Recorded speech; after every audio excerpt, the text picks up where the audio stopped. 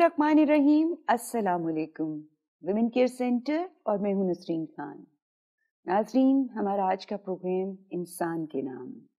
आपको एक ऐसे इंसान से मिलवाने जा रहे हैं जो इंसानियत की खिदमत, दीन के हवाले से अपने आप को एक उस्ताद की जगह पे रख के बेलौस तरीके से खिदमत कर रहे हैं। अलमौरद जो इदारा तालीम तहकीक है, उसमें वो उस्ताद के तौर पे रिसर्चर के तौर पे और नए सिलेबस जो कि तमाम वो स्टूडेंट्स जो फॉर्मली एजुकेशन ले रहे हैं या इनफॉर्मली एजुकेशन ले रहे हैं उनके लिए सिलेबस बना रहे हैं। तो मिलते हैं जनाब साजिद हमीद साहब से। अस्सलाम वालेकुम। वालेकुम अस्सलाम जी बहुत शुक्रिया जी आपका। जी शुक्रिया सर आप तशरीफ़ लाए हमारे प्रोग्राम में। आपने माशाल्लाह उर्दू, अरबी, कुरान, इन सब में बहुत टाइम लगाया और पढ़ा भी रहे हैं और मुसलसल पढ़ भी रहे हैं। एक टीचर के लिए ये सबसे बड़ी ऑनर की बात होती है कि वो पढ़ा भी रहा है और वो पढ़ भी रहा है। तो आप ये सारा कुछ कर रहे हैं। थोड़ा सा आप बताएँगे कि ये आप सारा क्या कर रहे हैं और क्या आपका आपका मतम नज़र क्या है? देखिए, असल में ये तो एक, जब जिन शोर की आँख खोली तो एक एहसास हुआ कि जो पूरी उम्मत है, हमारी कौम है, वो कुछ जवाल की तरफ़ जा रही है। और उस ज़माने में ये एक आम एनालिसिस था कि उम्मत के जवाल की वजह दीन से दूरी है। तो जब फिर इस मैदान में आ गए अपनी डॉक्टरी की लाइन छोड़कर तो इस पे काम करना शुरू किया कि देखें अब क्या करते हैं। तो दीन पढ़ना शुरू किया। तो दीन पढ़ने के दौरान में ये महसूस हुआ कि असल में दीन का एक बड़ा हिस्सा अखलाक है। जिसमें ख़राबी की वजह से मिलत जो है वो जवाल का शिकार है। तो अगर हम दयानतदार हो जाएँ या इस तरह की चीज़ें छोड़ दें जो गैर अखलाकी हैं तो तरक्की के भी इम्कान ज़्यादा हैं और खुदा के यहाँ भी कामयाबी के। तो भारत ये एक लंबा अरसा है तीस पैंतीस साल का। शुरू जो अपनी इब्तदाई तालीम है उसमें मेडिसिन ऑप्ट की थी। आप जी एग्जैक्टली एफ़ एस सी तक बनना चाहते थे। जी चूँकि मेरे वाले साहब डॉक्टर थे तो मेरी वालदा चाहती थी कि उनका क्लिनिक मैं ही संभालूँ तो तो एफ़ में मैंने फिर बगावत कर दी थी घराने से कि मैं डॉक्टर नहीं बनना चाहता। तो बस उसके बाद ये दीन वक्त आपके जहन में था कि मुझे दीन पढ़ना है? जी दीन ही की वजह से आप मैंने इंस्पायर हुए उस वक्त? जावेद अहमद गांधी साहब से। तो बस वो छोड़ दिया फिर मौलाना इसलाही वगैरह इन्होंने नई दुनिया खोल दी। ऐसा लगता था उससे पहले लगता था कि मज़हब एक मौलवियों की जगह है जहाँ पर दकियानूसी किस्म के लोग बैठे होंगे। माजरत के साथ ये सिर्फ़ समझाने के लिए। लेकिन जब इन लोगों के पास आया तो ऐसा लगता था कि दुनिया इल्म की एक और खुल गई है। तो ये जो इंस्पिरेशन थी, इसने फिर हमें ज़ाहिर है कि कई नौजवान थे मेरे साथ और भी, जो इसमें लगे रहे और हमने रात दिन मेहनत करके दिन सीखा तो कुरान मजीद समझ लीजिए कि एक ऐसी किताब है, पढ़ने से पहले और पढ़ने के बाद की बात कर रहा हूँ। पहले तो अकीदत थी बस, सवाब के लिए पढ़ते थे। लेकिन अब ये ऐसा लगता है कि इल्म का एक समंदर है जिसमें उतर जाएँ तो बस आदमी थक जाएगा इल्म ख़त्म नहीं होता। तो दुनिया को देखने का एक नया एंगल एक नया जाविया मिलता है। दुनिया को समझने का एक बिल्कुल एक वाइज किस्म का कह लीजिए कि तस्वुर पैदा होता है। और इस दुनिया को अपनी दुनिया के साथ रिलेट कर लिया जाता है। जा तो ये मुझे लगता है कि ये एक बड़ा जी सबसे बड़ी काम जो होता है वो ये हो जाता है। तो आपने हमेशा ये सोचा कि मैंने जो फैसला किया था वो बेहतरीन था। जी बिल्कुल। इसमें बड़ी मुश्किलें भी आई सख्तियाँ भी आई रोज़गार के पहलू से भी फाके भी आए लेकिन अल्लाह का शुक्र है कि कभी पछताना नहीं पड़ा। अल्लाह का शुक्र है। क्या चीज़ है जो आपको ताकत देती है? कि मैं इस वक्त आप एक कामयाब डॉक्टर हो सकते थे और एक कामयाब डॉक्टर जो है वो वो बहुत अच्छा कमाता है उसकी रोज़गार का सिलसिला बड़ा अच्छा होता है। तो आप भी वैसे तो माशाल्लाह अल्लाह आपको शाद और आबाद रखे लेकिन फिर भी वो एक फ़र्क होता है। जी यकीन तो आपको कभी लगा नहीं कि ये थोड़ा सा कर लेना चाहिए था मुझे कम्प्रोमाइज वो करके तो फिर मैं इधर आ जाता। बिल्कुल ऐसा कोई भी ख्याल नहीं आया। उसकी वजह यह है कि जब एक एक नुक्ता इल्मी नुक्ता हल होता है तो जो उस वक्त खुशी और लज्जत हासिल होती है वो मेरा ख्याल है कि करोड़ों रुपए जेब में डालकर नहीं होती। अजीब व गरीब बात है ये।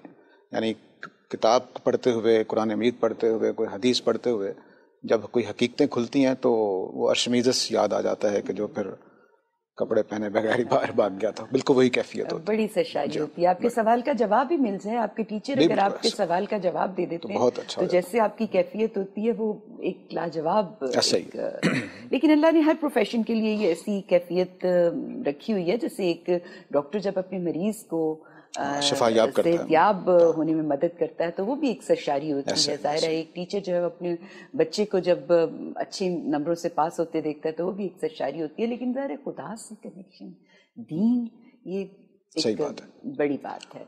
आप बताएँगे कि आपका तो डे टू डे ताल्लुक रहता है यंग जनरेशन से बच्चों को। आपने अभी कुछ अर्से पहले तो पीसीयू में आप पढ़ा भी रहे थे जी। और इससे पहले भी आप पढ़ाने का ही आपका सारा सिलसिला। तो मुझे बताएँ हमारे बच्चों का असल मसला क्या है?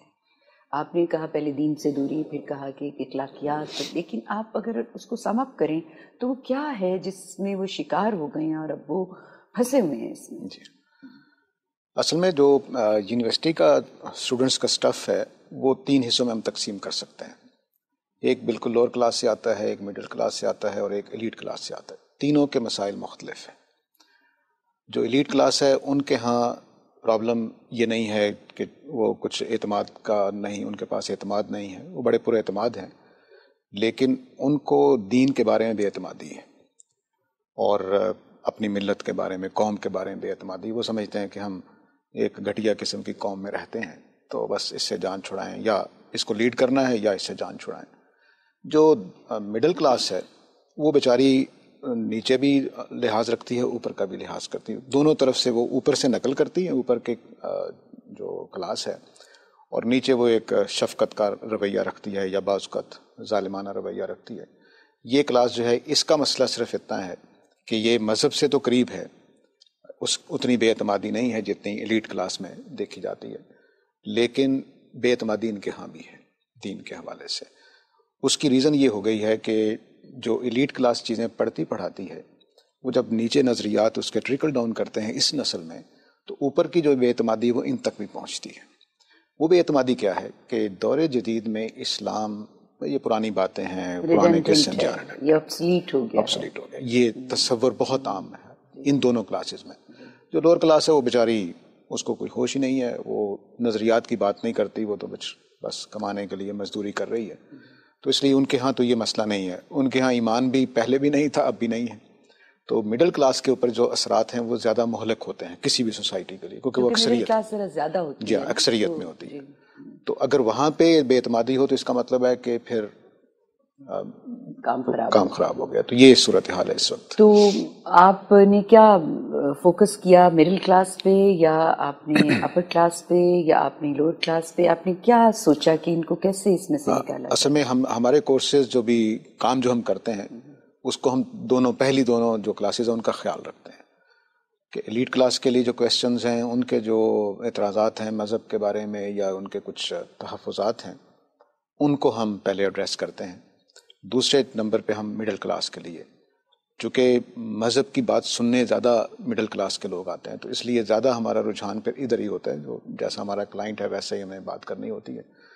तो ये आ, है। लेकिन हम जो क्वेश्चंस जो पैदा हुए हैं साइंस की वजह से या मॉडर्न मॉडर्निटी में ख़ास तौर से पोस्ट मॉडर्निज़म के बाद उन सवाल को हम एड्रेस करते हैं अपने इल्मी किताबों में अपनी चीज़ों में।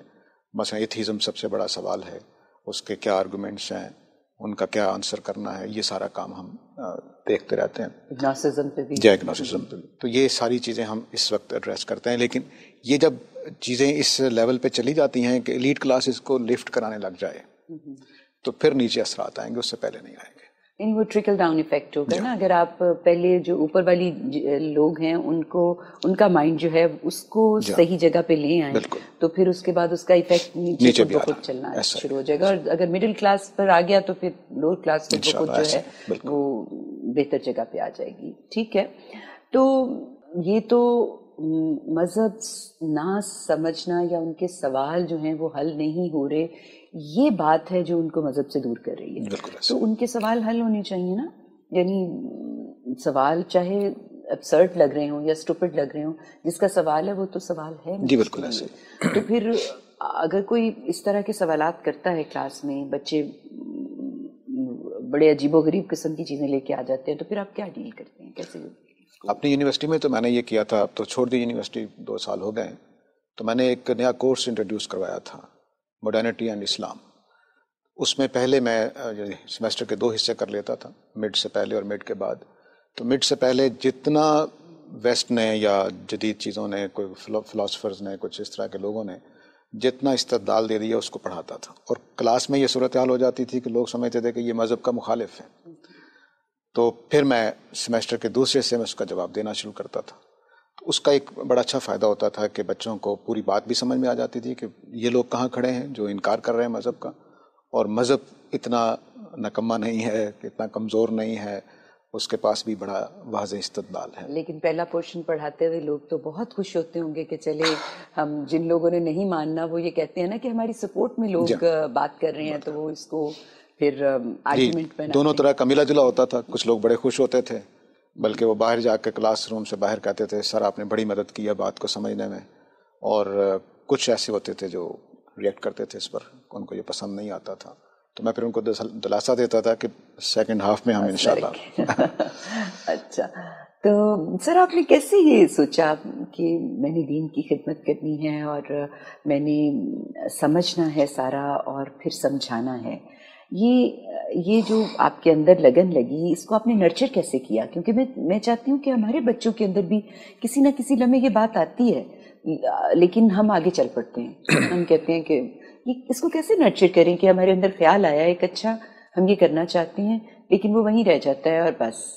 तो असल में जो मेरा अपना एक्सपीरियंस है उसकी बुनियाद पर ही कुछ कह सकता हूँ। असल मुझे अपने अंदर झांकना है मैं हूँ क्या? इस वक्त दुनिया में जो भी रिसर्च है, इस वक्त इंसानों के बारे में तो कोई थर्टी टू टाइप के इंसान होते हैं दुनिया में। इन सब का एक अलग मकसद है खुदा की तख्लीक की वजह से कि मुझे जिस टाइप का बनाया है, मेरा एक काम है। आपको जिस टाइप का बनाया है, उनका एक काम है। ये जो टाइप्स अल्लाह ने बनाई हैं, ये अजीब गरीब बात है, ये स्टडी करने की चीज़ है, खुद ये खुदा की निशानी है कि एक टाइप के लोग सिर्फ़ वन परसेंट दुनिया में पाए जाते हैं। लेकिन आपने कहा थर्टी टू टाइप है। हाँ। तो ये तो फिर वन परसेंट उनमें से एक वन परसेंट पूरी पॉपुलेशन का वन परसेंट एक टाइप ऐसी है अच्छा। जो आइंस्टाइन जिस कैटेगरी में फॉल करता है। जी, जी, जी. तो ये इतने थोड़े होते हैं। और जो ऐसे लोग हैं जो दुनिया के काम करने वाले हैं भाग दौड़ करने वाले उनकी पॉपुलेशन ज़्यादा होती है। अजीब गरीब तकसीम है ये इंसान। जी हाँ। तो ये खुद एक खुदा का साइन है कि वो उसने डिज़ाइन कर रखा है। तो उन टाइप्स के लिहाज से अपना जायज़ा लेना चाहिए कि मैं किस मैदान में आगे बढ़ सकता हूँ।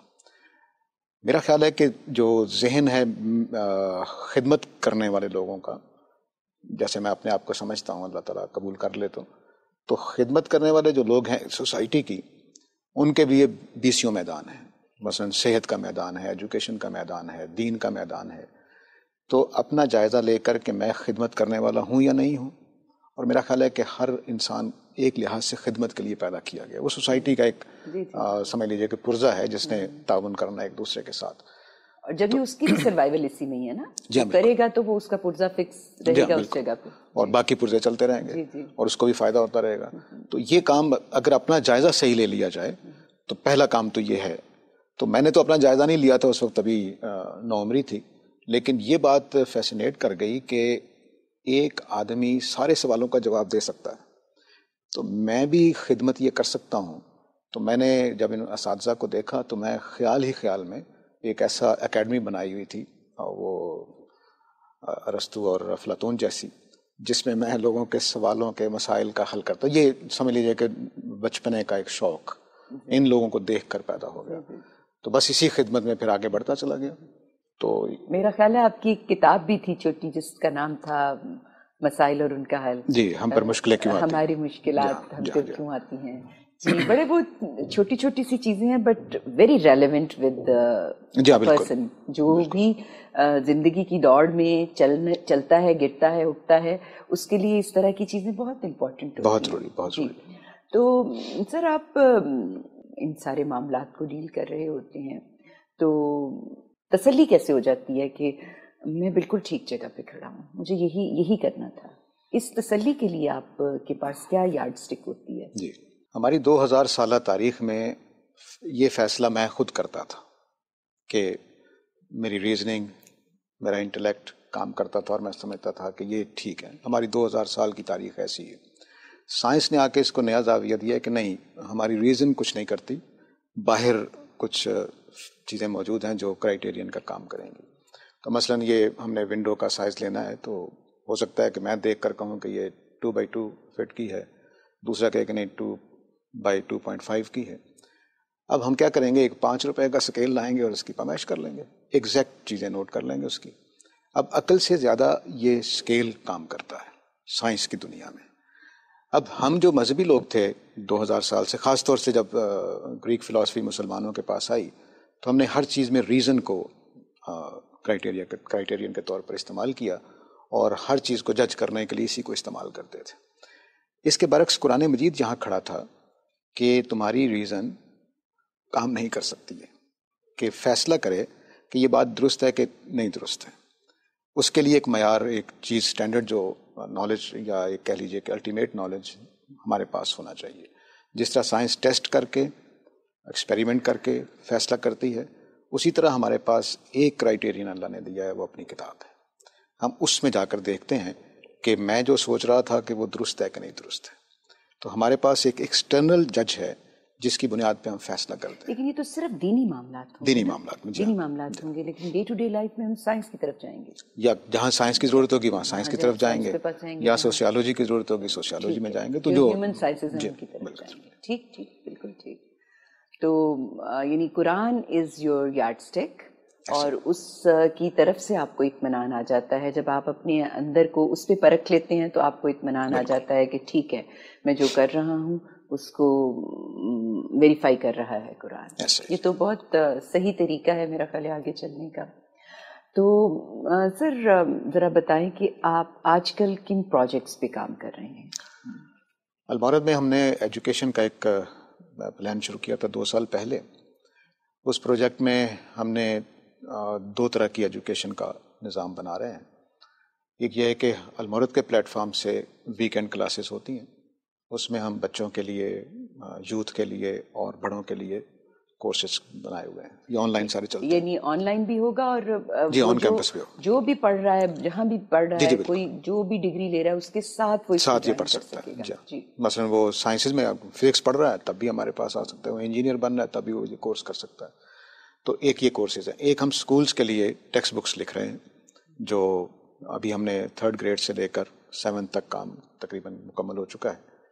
तो ये हम कर रहे हैं। ये इसका ये फ़ायदा होगा कि स्कूल में जो इस्लामिक स्टडीज़ है उसको हम रिप्लेस करके ज़रा हेल्दी किताबें जो हैं वो लाना चाहते हैं। इसमें के हवाले से ज़्यादा एनलाइटनमेंट की जो फिजा हो वो कायम करना चाहिए बिल्कुल ऐसे। और सोचा समझानी ऐसा नहीं कि बस हमने याद करवा देना है कि ये रिलीजन है बल्कि समझाने की तरफ़ हमारा जहन ज़्यादा है कि जो उसके सवाल हैं जदीद बच्चे के उनका भी आंसर हो जाए। और उसको लगे कि मैं वो चीज़ ले रहा हूँ इस्लाम के तौर पर जो मुझे समझ में आती है। सिर्फ़ रटा नहीं है या सिर्फ़ याद करना नहीं है। जिसको सिर्फ़ फॉलो नहीं करना बल्कि समझना समझना भी है। तो ये इस तरह से हम ये कोर्सेज एक तीसरी जो हमारी एजुकेशन में वो उलमा दीन तैयार करने का काम है। ये उलमा दीन उस रवायती मानी में नहीं बल्कि इसमें हम चाहते हैं कि हमारा जो आलम दीन हो वो जदीद में भी उसकी अच्छी नज़र हो। फ़िलासफ़ी को जानता हो साइंस एक हद तक जानता हो। क्योंकि आलम दीन या दीन का जो खिदमत करने वाला है उसको सब तबके से वास्ता पड़ता है। जी। उसके पास डॉक्टर भी आते हैं इंजीनियर्स भी आते हैं। अभी मेरे साथ जो संडे की क्लासेस होती हैं सुबह छः बजे उसमें पिछले तीन हफ्तों से एवोल्यूशन थेरी जेर बहस क्वेश्चन आंसर के सेशन में। लोग उस पर सवाल कर रहे हैं कि कुरान का नुकता नज़र क्या है साइंस का क्या है? तो अब अगर मुझे पता ना हो कि एवोल्यूशन थेरी क्या तो मैं उनको इतमान आपको साइंस ना पढ़ी हो तो फिर आप कुछ नहीं कह सकते। कुछ नहीं कर सकते। और जब आपको सवाल का जवाब नहीं मिलता तो आपके लिए उस जगह पे बैठना नामुमकिन नामुमकिन हो जाता है। बिल्कुल इतमाद खत्म हो जाता सही बात। आपको सवाल का ये बेशक टीचर के पास फौरी जवाब ना भी हो और वो ये कह दे कि मैं कल आपको इसका जवाब बताऊँगा तो वो चल सकता है। लेकिन अगर आप शन कर दें और आपके पास जवाब ना हो तो फिर बच्चे का वहाँ पर दोबारा दिल नहीं लगता। सही बात है। हाँ जी। तो इसका मतलब यह है कि आप इस वक्त सिलेबस पे काम कर रहे हैं। जी सिलेबस बनाने पे। और इसके अलावा जनरल सोसाइटी में आप क्या समझते हैं कि अपलिफ्ट के लिए क्या क्या काम होने चाहिए? ये इतना मुश्किल सवाल है जो आपने पूछा है। लेकिन मेरे ख्याल में एक बुनियादी काम ज़रूर होना चाहिए। वो हमारी कौम को दोबारा इसके अंदर एथिक्स को मोरालिटी को दोबारा पैदा करना है। ये इसमें हम बहुत पीछे हैं बहुत पीछे हैं। इतना पीछे हैं, यानी इस्लाम से भी पहले इसको आना चाहिए। इसी की वजह से इस्लाम भी माना जाएगा, वरना नहीं माना जाएगा। तो सच्चाई ख़त्म हो गई है, दयानतदारी ख़त्म हो गई है, रिश्वत लेने वाले हर जगह मौजूद हैं। अब तो सूरत हाल ये है कि अपने भाई पर अतमाद करने को दिल नहीं करता। तो ये ख़त्म होना चाहिए। हमारा एक वो दौर है कि किताबों में पढ़ा है, पता नहीं अब वो उसकी हकीकत क्या है कि मलेशिया में एक ताजर जाता है। वहाँ लाखों अशरफियाँ उसको पकड़ा दी जाती हैं कि हिंदुस्तान में फ़लाँ घराने में पहुँचा दीजिएगा। ये आपके सर्विस चार्जेस हैं। और मलेशिया के उस आदमी को पता है जो गैर मुस्लिम है कि मेरे पैसे पहुँच जाने हैं। ये मुसलमानों का किरदार था। आज मेरा ख्याल है कि इससे ऑपोजिट हो गया। तो ये पहला काम ये है जो बहाल करने का। दूसरा जो है वो हमें पाबंदी है बहुत सारी चीज़ों में। हम सवाल नहीं कर सकते। हम पूछ नहीं सकते। हम अपनी बात को खुले तरीके से बयान नहीं कर सकते हैं। मेरा ख्याल है कि इस माहौल को भी ज़िंदा होना चाहिए कि हर आदमी हर तरह का सवाल कर सके। आ, हमने मार भी खाई है यानी बात सवाल जब हम उलमा से करते थे तो वो डांट देते थे या धक्के देकर बाहर निकाल बाहर निकाल देते थे। तो ये ख़त्म होना चाहिए। खा वो साइंस के सवाल हों खा वो ह्यूमन ह्यूमैनिटीज़ के सवाल हों खा वो मज़हब के हों इसमें खुली छुट्टी होनी चाहिए। खुली छुट्टी होनी चाहिए और अगर आपको लगता है कि ये सवाल का जवाब मुझे भी नहीं आता तो मिल के रिसर्च करनी बिल्कुल ऐसे ही। मिल के रिसर्च करनी चाहिए और फिर आगे बढ़ना चाहिए। ये आपने बड़ी अच्छी बात कही अभी एक नौजवान से बातचीत चल रही है तो वो सवाल जब करता है तो उसके सवाल मुझे पहुँचने में ज़रा मुश्किल बात आती है। तो मैं कहता हूँ सवाल करते रहो मैं जवाब देता रहूँगा यहाँ तक कि तुम्हारा सवाल मुझे पहुँच जाएगा और मेरा जवाब तुम तक पहुँच जाएगा। तो ये एक पूरा प्रोसेस होता है बाज का। तो इसको चलना चाहिए जब तक के दोनों की तसली ना हो जाए कि उधर से क्वेश्चन आंसर हो गया कि नहीं हो गया। और मेरे पास जो बात थी वो ठीक है कि नहीं ठीक है। दोनों बातें वाजे हो जाती हैं। और ये होना चाहिए मेरी गलती निकलनी चाहिए। दूसरों के सवाल मुझे सिखाते हैं। मैंने तो यही सीखा है। ये तो कांस्टेंट प्रोसेस ऑफ़ लर्निंग होता ही तब है जब आप टू वी ट्रैफ़िक चलाएँ बिल्कुल बिल्कुल। तो गोया आप दो चीज़ें सजेस्ट हमें कर रहे हैं। एक तो ये कि हम जो ह्यूमैनिटी यानी अपना इखलाक इखलाक जो है मॉरल जो हमारी वैल्यूज़ हैं वैल्यू है उनको ठीक कर लें। और दूसरा ये है कि सवाल ओपनली होना चाहिए। ये दोनों बातें अगर हम सोसाइटी में पैदा कर लेते हैं तो हमारी डायरेक्शन कुछ बेहतर हो जाएगी। तो हम खुदा से ताल्लुक़ के हवाले से कुछ सूफीज़ इस हवाले से कहते हैं कि हम हमारा बहुत ताल्लुक़ होता है खुदा से। तो जो जो मौलवी साहब बताते हैं, वो ताल्लुक़ उतना स्ट्रॉन्ग नहीं बिल्ड करते। ये क्या मामला है? कैसा, इस ताल्लुक़ का क्या हिसाब किताब है? खुदा के साथ ताल्लुक़ की दो या तीन समझ लीजिए कॉन्सेप्ट हैं। एक कुरान मजीद देता है, एक सूफिया देते हैं, और एक वो है जो हमारे ट्रेडिशनली मुसलमानों में पाया जाता है। ये तीनों अलग अलग हैं। यानी कुरान मजीद खुदा का जो ताल्लुक़ बताता है, वो ये कि खुदा की खातिर मैं नुकसान उठाकर ये काम कर दूँ। खुदा की खातिर लाखों का नुकसान होता है मैं दे कर दूँ। करोड़ों का नुकसान होता है मैं कर दूँ। लेकिन खुदा को राज़ी रखना है। जब भी ये कुरान का तस्वर है खुदा के साथ ताल्लुक़ है कि मैं खुदा की खातिर हर चीज़ छोड़ने को तैयार हूँ हर चीज़ कुर्बान करने को तैयार हूँ कि मेरा खुदा मुझसे राज़ी रहे। ये खुदा के साथ ताल्लुक़ है। इब्राहिम अलैहिस्सलाम इस इम्तिहान में इतने पूरे उतरते हैं अल्लाह ताला उनको ख्वाब दिखाते हैं कि बेटे को ज़िबा करना वो तैयार हो जाते हैं। अकलौता बेटा बुढ़ापे में हासिल हुआ बड़ी दुआएँ करके हासिल किया, लेकिन वो कुर्बान करने को तैयार हुआ ये जो ताल्लुक है, ये हमारे यहाँ नहीं पाया जाता, खुदा के साथ। इसी वजह से हमारे यहाँ खराबी ज़्यादा पैदा होती है। जो सूफिया का ताल्लुक है, खुदा के साथ, वो एक और नहज का है। वो लाड प्यार का ताल्लुक है। जैसे एक बाप और बेटे का ताल्लुक होता है, या माँ और बेटे का बेटे का ताल्लुक होता है। ये जो ताल्लुक है, ये खुदा के साथ वो जोड़ना चाहते हैं। इसकी कुरान मजीद में तो कोई बुनियाद नहीं है, लेकिन ये वो किस तरह से करते हैं? इसके लिए वो कुछ इबादत कुछ रियाजत कुछ चिल्ले कुछ इस तरह की चीज़ें करते हैं जिसके नतीजे में उनका ये ताल्लुक़ खुदा के साथ वो समझते हैं कि बन गया है। और वो ताल्लुक़ इतना स्ट्रांग वो अपने बारे में समझते हैं कि वो फिर खुदा को देख रहे होते हैं फरिश्तों को देख रहे होते हैं उनसे बातचीत हो रही मैकेनिज्म ऑन हो जाता है ना फिर वो उसी में चलना शुरू हो जाता है। तो ये ताल्लुक़ कुरान का मतलूब ताल्लुक़ नहीं है लेकिन भारत इसके लिए जो वो तरीक़त का तरीका है वो बताते हैं। तीसरा जो हमारा ट्रेडिशनल तरीका है वो नमाज़ रोज़े के साथ ख़ास हो गया है कि जो आदमी पाँच वक्त की नमाज़ पढ़ता है रोज़े रखता है तहजद पढ़ता है वो खुदा के साथ ताल्लुक़ हो गया। खा वो रिश्वत ले रहा हो खा वो बेईमानी कर रहा हो वो खुदा के साथ ताल्लुक़ बन गया उसका। तो ये तीन तरह के ताल्लुक सर ये पहले दो ताल्लुक तो समझ आते हैं कि भाई एक के पीछे कुरान खड़ा है एक के पीछे एक पूरा फलसफा खड़ा है। लेकिन ये जो तीसरा है ये कहाँ से दर आया है?